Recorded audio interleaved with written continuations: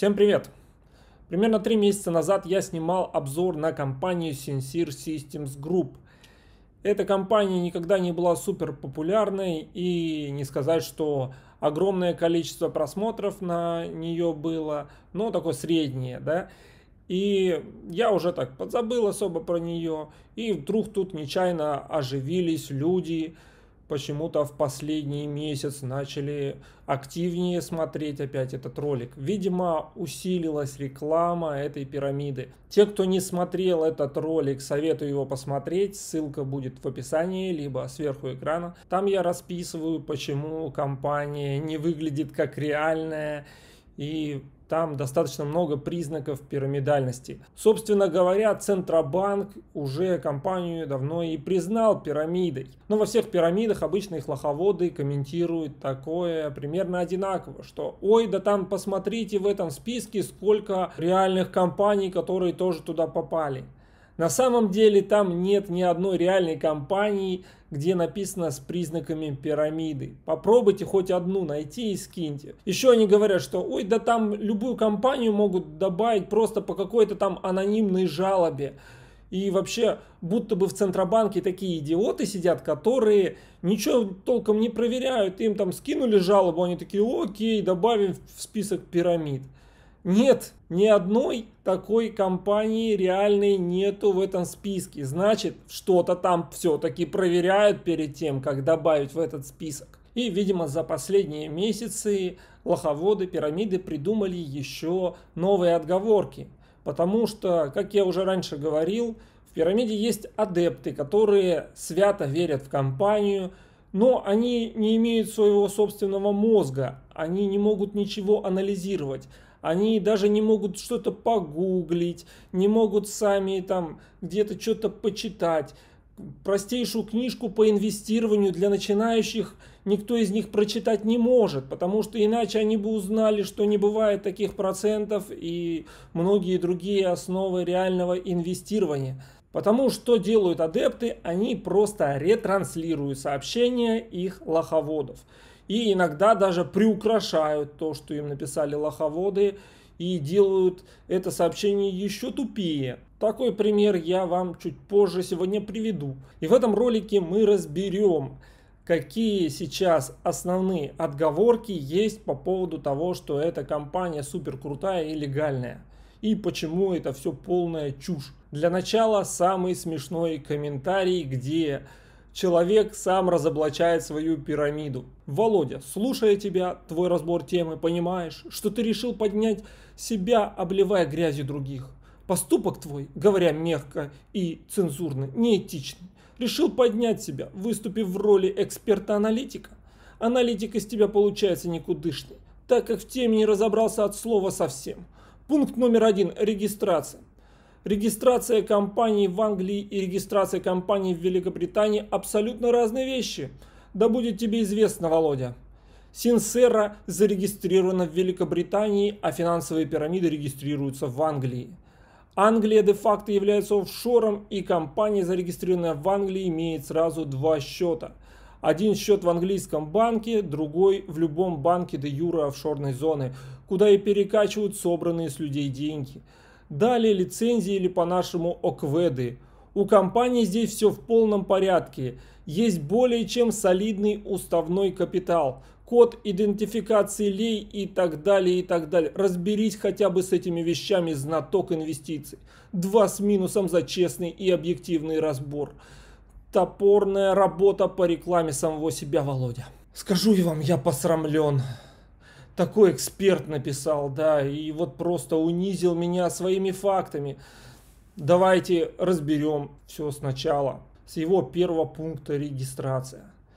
Человек говорит, что компания зарегистрирована в Великобритании, а все пирамиды регистрируются в Англии. Сначала звучит как полный бред, потому что Англия это часть Великобритании. Если вы не знали, то в Великобританию, помимо Англии, входит еще Шотландия, Уэльс и Северная Ирландия, может даже еще что-то. Но так, если задуматься, то теоретически может быть так, что у Англии, как у отдельного как бы региона, могут быть свои какие-то юрисдикции. и они могут отличаться от э, федеральных Великобритании. Да, такое, допустим, есть в Канаде, где я раньше жил. Там э, есть законы провинции и есть законы федеральные, и они могут быть разными.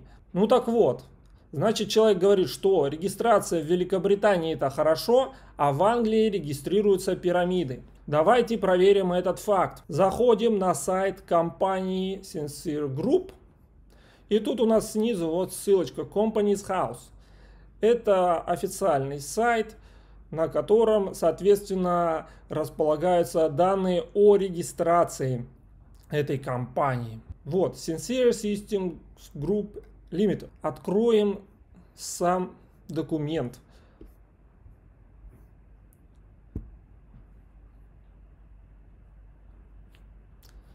Certificate of Incorporation of a Private Limited Company. И что мы тут видим? Что она зарегистрирована регистратором, который принадлежит Англии и Уэльсу. То есть в Англии зарегистрировано все-таки, не в Великобритании. А в Англии же у нас пирамиды зарегистрированы, прикинь. То есть человек сам признал, что компания пирамида. Пошли дальше. Он пишет, далее лицензии или по-нашему окведы. У компании здесь в полном порядке. Так, начнем с того, что такое оквед. Мне уже второй или третий человек приводит как обоснование ОКВЭД. Люди вообще не понимают, что такое лицензия и что такое ОКВЭД. И вообще ОКВЭД это российская аббревиатура, а в Англии это SIG-код. Но это примерно одно и то же. Что это такое? Это классификатор деятельности. То есть если вы открываете какую-то компанию, вы должны указать, какой деятельностью занимается эта компания. Но вы не можете сказать там своими словами, потому что есть конкретный список. И вы выбираете именно наиболее подходящую деятельность из этого списка. Если у вас их несколько, то вы выбираете несколько. В Англии можно выбрать до четырех. И эта компания выбрала все четыре. Но это никакая не лицензия. Это вы просто при регистрации указали, чем занимается ваша компания. Вам никто не дал лицензию. Если вы открываете, допустим, свою стоматологическую клинику, и что нужно стоматологу? Ему нужна, соответственно, лицензия на ведение своей деятельности. Вы не можете просто так начать лечить людям зубы. Вы спокойно можете зарегистрировать свою клинику, создать юрлицо и указать, что оно занимается именно вот э, лечением, там, э, там, стоматологией или какие там конкретные виды деятельности по АКВ. Но это вам не дает права лечить людей, потому что если вы начнете после этого сверлить зубы, к вам придет Министерство здравоохранения и скажет, какого хрена ты кто такой, чтобы лечить? А по комментариям адептов пирамиды выходит, что просто если человек назвался какой-то профессией, то значит у него на это есть лицензия. Любой бомж скажет, что он инвестиционный специалист, значит у него есть лицензия. Далее идет про солидный уставной капитал. Ну, вы организовываете большую достаточно пирамиду. Вы можете какие-то деньги специально для обоснования ее деятельности положить на счет. Причем, скорее всего, вы после закрытия компании сможете их спокойно обратно забрать. А может быть даже и до закрытия компании, я там не знаю точно законодательство Англии. Код идентификации лей. Его тоже приводят, как будто это лицензия. Что это такое? По сути, это просто ваш индивидуальный номер, если ваша компания занимается какой-то финансовой деятельностью на мировых рынках. Это как у частного лица или у компании ИНН, номер налогоплательщика. Да? То же самое вот лей, только среди финансовых компаний. Когда вы там покупаете или продаете акцию от компании, то у вас э, каждый раз в вашей операции отображается ваш код. И любой человек, увидев этот код, он может в системе проверить, кому принадлежит этот код. Там будет указано, что это компания, там основана в такой-то стране, такой-то директор у нее, такой-то компании, она э, материнской принадлежит, какие-то у нее дочерние, ну и такая другая общая информация о компании.